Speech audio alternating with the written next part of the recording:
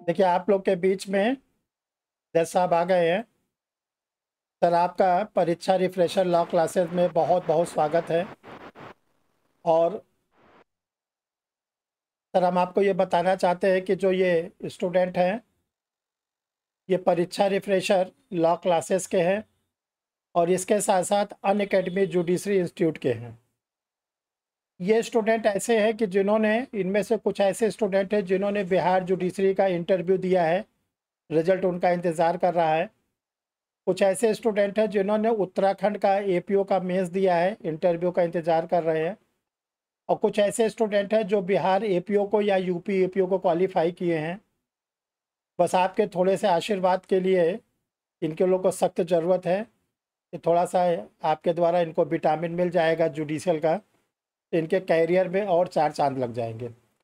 अभी आपके अनुपस्थिति में लोग को बता रहे थे कि सर के पास बहुत लंबा जुडिशल एक्सपीरियंस है और इसके साथ साथ कंज्यूमर फोरम का भी बहुत अच्छा एक्सपीरियंस है। ये दोनों एक्सपीरियंस अगर इन लोग को मिलेगा तो ये लोग इंटरव्यू में भी बहुत अच्छे रूप में अपनी बातों को रख पाएँगे। और साथ साथ ये जब किसी जुडिशल ऑफिसर के पोस्ट पर सेलेक्ट होंगे तो वहाँ पर भी अपनी बातों को अच्छे रूप में, एक जुडिशल ऑफिसर के रूप में काम कर पाएँगे।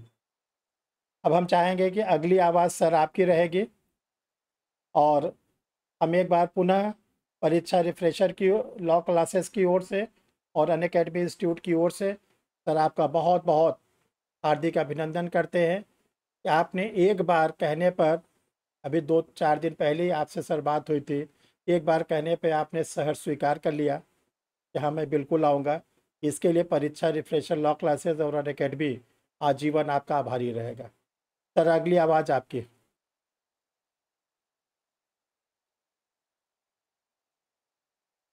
मोबाइल आपका, मोबाइल म्यूट है मोबाइल का आवाज़ नहीं आ रही है, उसको खोल लीजिए।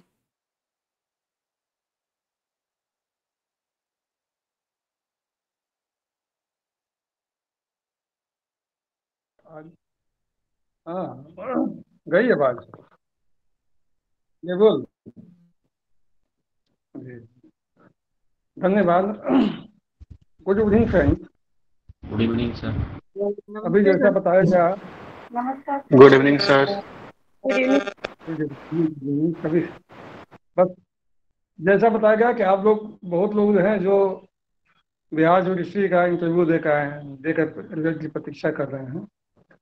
और कुछ लोग उत्तराखंड उत्तराखंड के भी काफ़ी दिए हैं इंटरव्यू दिए हैं। बहुत बहुत शुभकामना मेरी तरफ़ से, कि आप लोगों का सिलेक्शन हो जाए। जो अभी एपीओ बिहार और एपीओ यूपी का देने वाले हैं मेन जो प्री क्वालिफाई कर चुके हैं।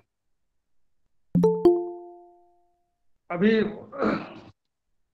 उनके ऊपर ज़्यादा उनको ज़्यादा प्रेशर है, लेकिन प्रेशर में कोई तैयारी नहीं होती है।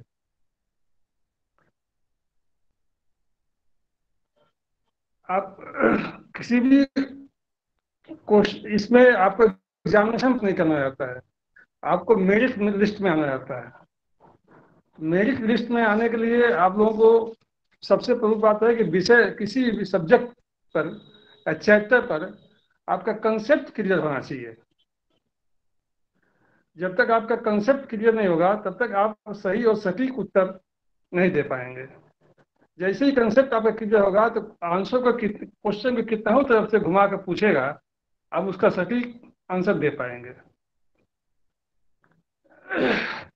इस, इसमें आपको नंबर बढ़ाना है। आप क्वेश्चन जनरल रूप से क्वेश्चन सभी कैंडिडेट जानते हैं। लेकिन कैसे आपका नंबर बढ़ेगा? अन्य कैंडिडेट से आपका नंबर अधिक कैसे आएगा कि मेरिट में आप आवे इसके लिए ज़रूरी है कि आप जो भी आंसर लिखें, वो सटीक लिखें, संक्षिप्त लिखें। और उस पर लीडिंग केस ला है तो लीडिंग केस ला से सपोर्ट करें। लीडिंग केस ला नहीं है तो करंट केस ला भी सपोर्ट करें, और दोनों है तो दोनों लिखें। नंबर आपका तभी बढ़ेगा जब आप लीडिंग केस ला और करंट केस ला से उसका सपोर्ट करेंगे। दूसरी बात है कि आजकल कोई प्रश्न सीधा नहीं आता है। सीधे को नहीं पूछेगा कि आपसे ये मर्डर क्या है, लूट क्या है, डकैती क्या है। कुछ क्वेश्चन के साथ कुछ न कुछ लगा रहता है। दो पार्ट में क्वेश्चन आलो जा रहा है और क्वेश्चन के दो पार्ट में रहता है। एक क्वेश्चन एक पार्ट तो फ़र्स्ट वाला तो सीधा रहता है। लेकिन सेकंड पार्ट को थोड़ा घुमा देता है। उसको आपको लोगों को समझना है कि क्या चीज़ पूछ रहा है। बहुत कभी कभी ऐसा होता है कि जानते हुए भी आप आंसर नहीं लिख पाते हैं। जैसे कि आपसे पूछा कि कल कल पेबुल होमोसाइड क्या है? एग्ज़ाम्पल से बताइए। आपने देख लिया कंपेबुल होमोसाइड उसका एग्ज़ाम्पल भी दे दिया। लेकिन से, उसी क्वेश्चन में सेकंड पार्ट पूछा। सेकंड पार्ट में कहा कि आप बताइए कि मानव बध कल्पेबल ये मर्डर जो है कब मानव बध कब मर्डर नहीं होगा? कल्पेबल ही होगा। अब इसमें तो आपको घबरा जाइएगा कि भाई क्या पूछा है मर्डर पूछा है पूछा है क्या पूछा है? सर, जब पाँचों एक्सेप्शन को छोड़कर अगर कोई ह्यूमन होमिसाइड होता है तो वो मर्डर में काउंट हो रहा है। वही तो हम बता रहे वही तो कहने जा रहे हैं। तो यहाँ आपको तीन सौ का जो पाँचवें एक्सेप्शन है, वो लिखना होगा साथ साथ में। ये बताना होगा कि हाँ ये ये इन दशाओं में जो है, ये मर्डर मर्डर जैसे होते हुए भी ये मर्डर नहीं है कल्पेबुल होमिसाइड है। तो इस इस तरह से क्वेश्चन जो है आजकल सेटिंग हो रहे हैं। इसलिए आप किसी भी किसी भी सेक्टर को थरोली पढ़ें और उसके जो लिखने पार्ट हैं छोटे छोटे पार्ट हैं, उसको ज़रूर देखें। हाँ ठीक है, आपने आपने वही सही बताया। कि जो, लेकिन पाँच सौ के अलावा भी कंट्रोबल होमोसाइड होता है। टू टू नाइन्टी नाइन देखिए। वो पाँचों में जो आएगा, वो तो है ही है कि हाँ मर्जर नहीं करते हुए होमोसाइड है। लेकिन उसके अलावा भी टू नाइन्टी नाइन के अनुसार होगा। बहुत थिन थिन डिफरेंस है, ये आपके श्रीवास्तव से बताएँगे, बताए भी होंगे। बहुत थिन लाइन डिफरेंस है टू नाइनटी नाइन और थ्री हंड्रेड में। लगता है आप प्लेन रीडिंग देखिएगा तो लगेगा दोनों एक ही समान है। बहुत अंतर कि बहुत थिन अंतर है। उसका एक लिविंग केस भी है आपको बताए होंगे चाहे बताएँगे। तो सर इसमें तो डिग्री ऑफ़ इंटेंशन को ध्यान में रखा जाता है सर वही वही तो बोला है बहुत माइनर थिन अंतर है। थिन अंतर है। बहुत मामूली अंतर है। इसलिए किसी चैप्टर पर तो हम बहुत डिस्कस नहीं करेंगे अभी लेकिन जनरल बात बता रहे हैं एक एग्ज़ाम्पल आपको हम दिए। उसको रेक्स वर्सेस गोविंदा का केस है, जिसको बहुत अंदर है, बहुत इंपॉर्टेंट भी है, आता भी है। और ऐसे ही सब आपको तैयारी करनी चाहिए। चैप्टर पर ध्यान चैप्टर पर सटीक कंसेप्ट क्लियर रखिए, किसी भी चैप्टर का। अब जैसे सिविल में आइए तो सिविल में रेसिड्यूटिकेटा सीधा पूछ दिया। लेकिन उसके साथ पूछेगा कि कंस्ट्रक्टिव रेसिड्यूटिकेटा क्या है? तो बहुत लोग कंस्ट्रक्टिव रेसिड्यूटिकेटा नहीं समझ पाएँगे। नहीं ठीक से पढ़े हो नहीं आंसर दे पाएँगे लेकिन जब वो कंस्ट्रक्टिव आप लिखिएगा तब आपको मिलेगा। सर कंस्ट्रक्टिव का मतलब माना जाता है ना सर कि मान लिया जाता है। मान लिया जाता है जैसे वो कंस्ट्रक्टिव मान मतलब वो डायरेक्ट ना होगा इनडायरेक्ट वे में वो रेस्ट्रिक्ट है। इसी तरह से है और, और कुछ आप लोगों को मतलब के बारे में कुछ पूछे? धीरज आप सर की पहले बात सुन लीजिए फिर जो आपको पूछना होगा पूछ लीजिएगा। हाँ। देखिए जो सर आपको बता रहे हैं कि जो उसको पहले ध्यान से सुने। हाँ सर। और अब ज़्यादा समय आप नहीं लेंगे लेकिन आप लोग अपने अपनी अपनी तैयारी कीजिए।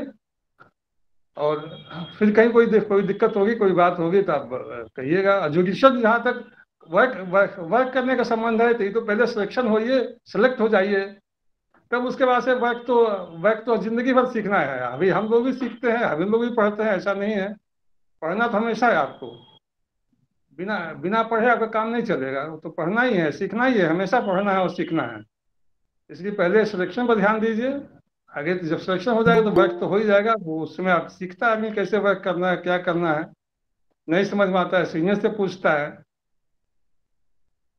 ठीक है अभी अभी मेन उस पर ज़ोर दीजिए आपने अपना ध्यान दीजिए कि आपका सिलेक्शन हो उसके हिसाब से आप तैयारी कीजिए। ठीक है? थैंक यू सर थोड़ा इन लोग को जो फोरम की कोर्ट होती है उस फोरम की कोर्ट के बारे में थोड़ी जानकारी इन लोग को दे दीजिए। अभी तो इन लोगों सेक्टर में कहीं नहीं है, किसी भी, वो एडीजीए वाले में रहता है अभी तो इन लोगों को नहीं नहीं। अभी इन लोगों का इन लोगों से अनावश्यक उस पर माइंड डाइवर्ट करने की ज़रूरत नहीं है। वैसे हम एक लाइन बता देते हैं कि फोरम का है कि ये उपभोक्ता आप किसी भी चीज़ को उपभोक्ता, जैसे कोई सामान खरीदे, आपको गलत सामान दे दिया, या या को, कोई मे- कोई मेडिकल नेग्लिजेंस है? इस तरह के कोई बात है उसके लिए आप सिंपल एक आवेदन पर वहाँ केस कर सकते हैं।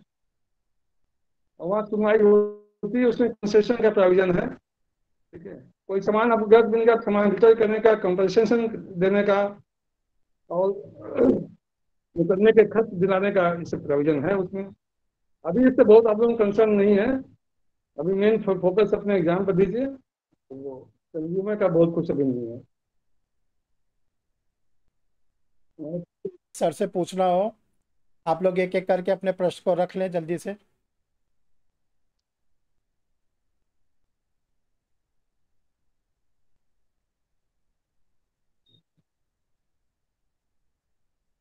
आप में से किसी को अगर कोई क्वेश्चन या किसी बात को जानकारी चाहिए लॉ पे सिविल लॉ क्रिमिनल लॉ किसी भी चीज़ पर तो सर बैठे हुए हैं आप लोग उनसे अपने प्रश्न को जल्दी से पूछ लीजिए। सर। बोलिए।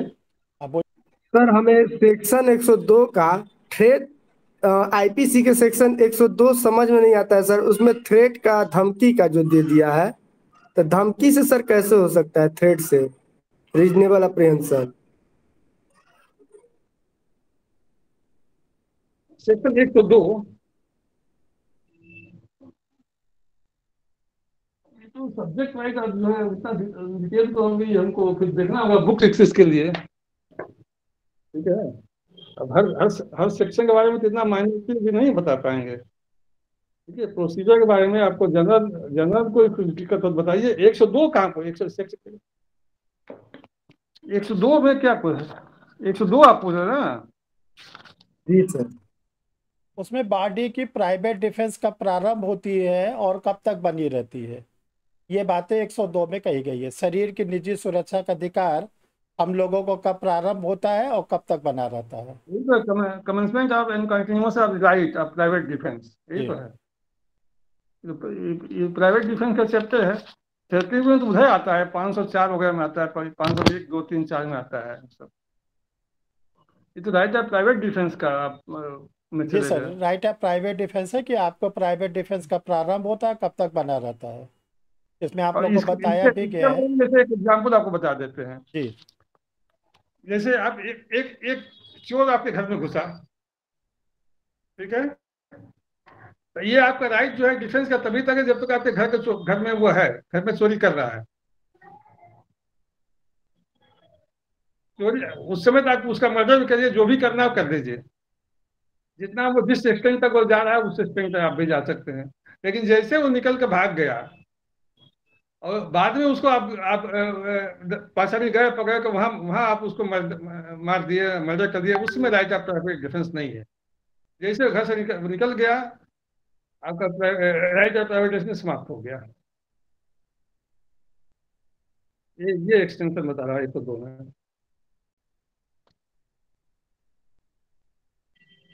अब आज आज तो ज़्यादा देखते हो कि मॉस डिशिंग बाद में लोग मार दे मार दे रहे हैं, पीट रहे हैं। उसमें आप सुने होंगे कि उन लोगों के खिलाफ भी केस हो जा रहा है। वहाँ प्राइवेट डिफेंस नहीं है। क्योंकि वो तो उसका उसका समय समाप्त हो गया। कंटिन्यूशन समाप्त हो गया उसका। यही कह रहा है एक सौ दो। आप थ्रिटनिंग कहाँ से उसमें चले गए आप? एक सौ एक सौ दो में। थ्रिटनिंग तो है नहीं। जब आपका शरीर या संपत्ति संकट में आता है तो तभी धारा 102 आप लोग की लागू होती है संपत्ति के मामले में। है। जी सर। हाँ चलिए और किसी को कुछ पूछना जल्दी से। कोई प्रैक्टिकल बात आप लोग और पूछिए अगर पूछना हो। सर नमस्कार सर। सर मेरा क्वेश्चन है। हेलो। जी नमस्कार सर। मेरी आवाज़ आ रही है? जी, बोलिए। नमस्कार। जी ये क्वेश्चन है मेरा सर अगर मेंस में हम आंसर राइटिंग लिखते हैं तो क्या पॉइंट वाइज लिखना सही रहेगा या पैराग्राफ में सर आप पॉइंट में लिखिए या पैराग्राफ में लिखिए। आप आप मतलब उसमें फालतू बातें नहीं भरिए। जी। ठीक है? जी और सेकंड क्वेश्चन है सर जो छोटे छोटे एक एक लाइन में लिखना सही नहीं है। दो कम से कम छोटे छोटे पैराग्राफ रहे दो लाइन तीन लाइन चार लाइन का। जी जी। ठीक है? अभी नहीं कि एक एक लाइन लिखते जा रहे हैं कि लाइन हाँ जहाँ कुछ पॉइंट लिखने लगे वहाँ भी लिख सकते हैं। जी। सर लास्ट में जो कंक्लूजन होता है वो लिखना म, ज़रूरी होता है? जैसे कंक्लूजन अगर हम तीन चार लाइन का लिखते हैं लास्ट में ऑल ओवर जो कंक्लूजन होता है तो उसको लिखना निष्कर्ष लिखना ज़रूरी है या खत्म कर ये तो क्वेश्चन क्या पूछा उस पर निर्भर करेगा। किसी में हो सकता है किसी में नहीं भी हो सकता है। जी सर। और सर करेंट जो अपडेट करेंट जो लीडिंग ये क्वेश्चन ये जजमेंट है supreme court honourable supreme court या ऑनरेबल हाई कोर्ट के वो तो पुटअप किया जा सकता है सर लीडिंग केस और के वही तो मैं बताया कि वो पहले तो लीडिंग केस लिखिए लीडिंग केस लिखिएगा तभी नंबर आपका बढ़ेगा। और साथ साथ करंट केस ला भी अगर सुप्रीम कोर्ट का देते हैं। ज़्यादा कोशिश कीजिए सुप्रीम कोर्ट के देने के लिए। जी। और संबंधित आपके जिस हाईकोर्ट से संबंधित है आप उस हाईकोर्ट के देने के लिए। तब उसके बाद दूसरे हाईकोर्ट पे जाइए। पहले मतलब सुप्रीम कोर्ट का सुप्रीम कोर्ट का दीजिए सुप्रीम कोर्ट का नहीं आपको जानकारी है नहीं मिलता है तो अपने हाई कोर्ट का दीजिए जिस हाई कोर्ट के रिलेटेड आप एग्जामिनेशन दे रहे हैं। उसके उसका भी नहीं मिलता है तब दूसरे हाई कोर्ट पे जाइए। जैसे अभी रिसेंटली में 323 पे ऑनरेबल ये ऑनरेबल सुप्रीम कोर्ट का जजमेंट आया है तो उसको पुटअप किया जा सकता है। हाँ बिल्कुल किया जा सकता है। जी सर। थैंक यू तो ये रहेगा जब आप आप उससे संबंधित केस केस ला दीजिएगा। तभी तभी दो स्टूडेंट में डिफरेंस होगा कि नंबर में। Thank you sir good evening sir sir मैं ये पूछ रही हूँ जैसे अपन केस लिखते हैं तो कितने केस तक लिख सकते हैं? आपको समय की सीमा है केस ना में समय लीडिंग में केस है जो करंट केस है। नहीं, आपकी समय की सीमा तो है क्या आप, आप अपने समय की सीमा में लिखिए जितना लिख सकते हैं। ऐसा नहीं कि एक ही केस में आप एक घंटा समय दे दीजिए और बाकी क्वेश्चन आपको छूट जाए। ये भी नहीं होनी चाहिए। आप उतना ही लिखिए नमस्कार, सर। आप आप सारे सारे क्वेश्चन चेकअप कर सकें। सर नमस्कार सर नमस्कार सर हेल- सर आपका एक जजशिप का एक लंबा अनुभव है। एक जज का जीवन शैली कैसा होना चाहिए? बोलिए। एक जज का जीवन शैली सर कैसा होना चाहिए समाज के प्रति? अब अब अब अब सेलेक्ट हो जाए तब उसके बाद पूछिए सब बात। ठीक है? Okay sir. पहले तो लोग कहता था कि जज को एक वीडियो जैसे रहना चाहिए लेकिन अब ये धीरे धीरे चेंज आ गया इसमें। ठीक है? जी। बहुत इसमें थोड़ा चेंज आ गया आज के मॉडर्न युग में। पहले तो एक कंसेप्ट था कि जज को एक वीडियो जैसे रहना चाहिए। तो आज वीडियो का भी कंसेप्ट चेंज हो गया उसी अनुसार जज का भी कंसेप्ट चेंज हुआ है थोड़ा। चलिए देखिए आप लोगों के बीच में सर नमस्ते सर। हाँ संध्या बहुत पूछिए। सर मुझे एचएस हाँ, के। बारे में पूछना था सर जैसे कि लोअर जुडिशरी का एग्ज़ाम होता है तो और एचएस में दोनों में क्या फ़र्क है? मतलब किस तरह से तैयारी करें कि क्योंकि जैसे अभी यूपी का रिज़ल्ट आया तो उसमें बहुत कम ही कैंडिडेट क्वालिफाई कर पाए। हाँ एजीएस में आपको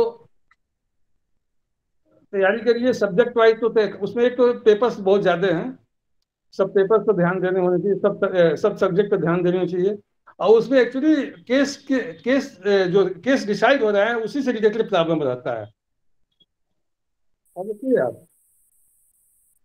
जैसे मान लीजिए सुप्रीम कोर्ट कोई केस डिसाइड किया उसी से उसी टाइप का प्रॉब्लम उसमें देता है। सर ये सभी सब्जेक्ट में अप्लाई होता है या सिर्फ़ प्रोसीजरल वगैरह? में ज़्यादा प्रॉब्लम रहता है थ्योरिकल बहुत कम रहता है। ज़्यादा क्वेश्चन प्रॉब्लम ही रहता है। सॉल्व कीजिए। उसको सॉल्व करने में आपको थोड़ा सा उसका ये जिस जिस चैप्टर से, जिस सेक्शन से रिलेटेड वो सेक्शन से लिखना ही होगा। उसके बाद उस सेक्शन के आलोक में उस उस क्वेश्चन का हल आपको ढूंढना, लिखना होगा। लेकिन ज़्यादा ये बेस्ट रहता है बेस्ट रहता है, जो आपके केसेस डिसाइड हो रहे हैं हाई कोर्ट सुप्रीम कोर्ट के, उसी पर। ऐसा नहीं कि कहीं से कहीं से उठा के दे देता है मनमानी तरीके से ऐसा नहीं रहता। है तो जो आपको अगर गहन गहन अध्ययन है जो लेटेस्ट केस डिसाइड हो रहे हैं अगर उनकी सबकी जानकारी आप रखते हैं तो इस जीएससी में अच्छा अच्छा कर सकते हैं। जी sir thank you sir. Dear student देखिए आप लोग के बीच में सर ने बहुत ही आप लोग के एग्जामिनेशन के पॉइंट ऑफ़ व्यू से बहुत अच्छी बातें बताई कि सबसे पहले तो आप लोग केस ला पर विशेष ज़ोर दीजिए। लीडिंग केस तो आप लोग को याद ही रहना चाहिए। और लीडिंग केस के साथ साथ जो भी honourable high court supreme court के लेटेस्ट जजमेंट होते हैं, उससे आपको अपने को अपडेट हर समय रखना है जब तक आपका सिलेक्शन नहीं हो जाता। और सिलेक्शन होने के बाद भी इसकी ज़रूरत पड़ती है एक जुडिशल ऑफिसर्स के रूप में आपको। और दूसरी चीज़ जो आप लोग आंसर लिखें, खासकर मेंस में, क्योंकि मेंस के आंसर पे ही मेरिट बनती है आप लोग की। वो एग्ज़ाम ओरिएंटेड लिखे जितनी बात एग्जामिनर पूछ रहा है आपसे। जो बातें एग्जामिनर नहीं पूछ रहा है, उसको आपको लिखने की ज़रूरत नहीं है। और जो सबसे बड़ी बात आज के इस सेशन में क्लियर हुआ, कि आप लोग को अपना टाइम मैनेजमेंट ध्यान रखना। ऐसा नहीं कि आप एक केस में पंद्रह बीस केस देने लगे और पता चला कि आपका दो क्वेश्चन छूट गया। तो उससे फिर कोई मतलब नहीं है। आपको क्या करना है कि जितने भी एग्ज़ाम में क्वेश्चंस हैं, सबको पूरा कंप्लीट करना है। और जो लास्ट में इस बात पर चर्चा हुई कि लोअर जुडिशियल और हायर जुडिशियल में अंतर क्या है तैयारी में तो हायर जुडिशियल के आप प्रीवियस ईयर के क्वेश्चन पेपर देखेंगे तो वो ज़्यादा क्या होता है जो लेटेस्ट केसेस डिसाइड होते हैं, उससे रिलेटेड होते हैं। हायर जुडिशियल के स्टूडेंट को अपने स्टेट के हाई कोर्ट के सारे केसेस से हर समय अपडेट रहना चाहिए। जिस स्टेट का आप एच दे रहे हैं और इसके साथ साथ ऑनरेबल सुप्रीम कोर्ट के द्वारा जो भी डिसीज़न दिए जाते हैं, उससे आप अपडेट रहेंगे। क्योंकि देखिए, ये आपको मेंस में भी काम आएगा, प्लस जब आप एच का इंटरव्यू देने जाएँगे, जब ऑनरेबल जजेस के सामने आप बैठेंगे तो वहाँ पर भी आपसे इसी करंट केसेस पर ज़्यादा चर्चा होगी। तो लॉ के स्टूडेंटों को अपने सब्जेक्ट पे तो पकड़ रखनी है और इसके साथ साथ आप लोगों को केस ला पर पकड़ रखनी है। और जैसा अभी आप, सर ने बताया कि क्वेश्चन का ट्रेंड थोड़ा बदलता जा रहा है तो आप लोगों को क्लास में भी बताया जाता है कि when culpable homicide not amounting to murder तब आपराधिक मानववध हत्या नहीं है। तब आप लोग को पढ़ाया गया है। इन सब चीज़ों को जितना आप बारीकी से पढ़ेंगे, उतना मेंस में नंबर अच्छा आएगा। और जब मेंस में नंबर अच्छा आएगा, तभी आपका सिलेक्शन होगा। और मेंस में आपके नंबर अगर कमज़ोर हैं तो इंटरव्यू के बल पे आपका सिलेक्शन नहीं होगा। तो आज इसी बात पर हम लोग इस निष्कर्ष पर पहुँचे। सर आपका बहुत बहुत धन्यवाद। आपने इतना मूल्य समय आज स्टूडेंटों को सर दिया और हम ये हम सर उम्मीद करेंगे। बहुत बहुत धन्यवाद आपको भी। Thank you sir thank you और कभी सर भविष्य में फिर ज़रूरत होगी तो आपसे अनुरोध करेंगे। तो आपका अमूल्य समय फिर सर लेने की कोशिश बच्चों के लिए तो बच्चों के लिए तो काम करना है। जी सर अच्छा एक चीज़ लास्ट में हम बता दें सब लोगों को अगर किसी को कोई लीगल एडवाइस लेनी हो तो वो सर के द्वारा फ्री ऑफ़ कास्ट दिया जाता है। जी जी।